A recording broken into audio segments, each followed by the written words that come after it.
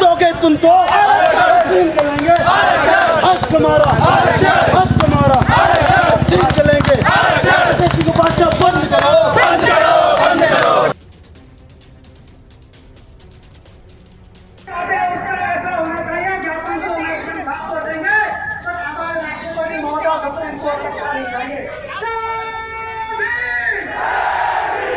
अभी नरेंद्र मोदी जी की सरकार ने ये अभी किया है वो चौरासी सांसद उनको मिलने गए थे पीएम साहब को और पीएम साहब ने आश्वासन दिया है कि उनको लागू हम नहीं करेंगे।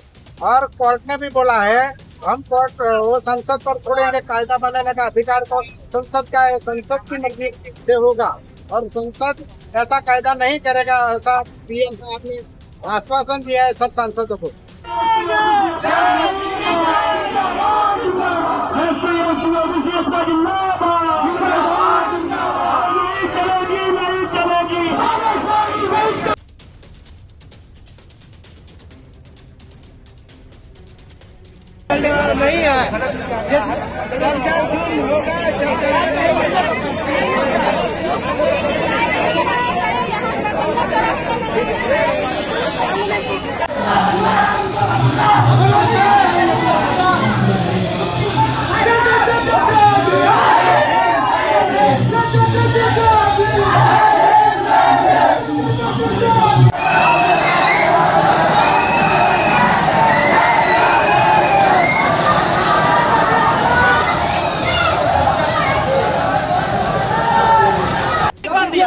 Gracias.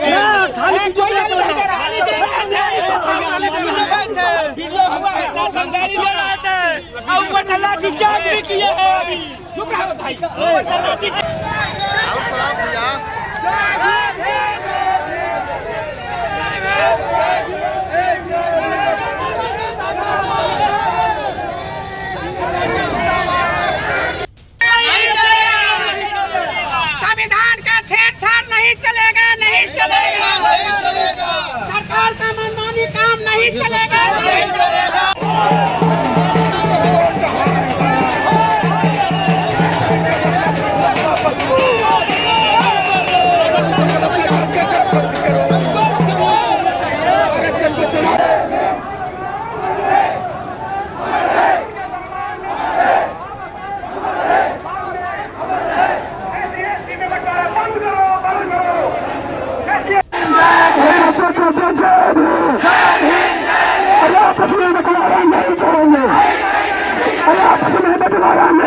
Bravo!